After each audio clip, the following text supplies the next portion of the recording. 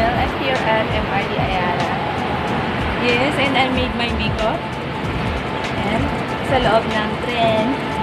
Eh kasi I'm on my way to meeting. So wala na akong time mag-makeup. So kailangan ko mag-makeup ng mabilisan. Para pag dating ko mamaya sa meeting, eh, fresh naman ako, di ba? So, ayan. So, I have to rush na guys.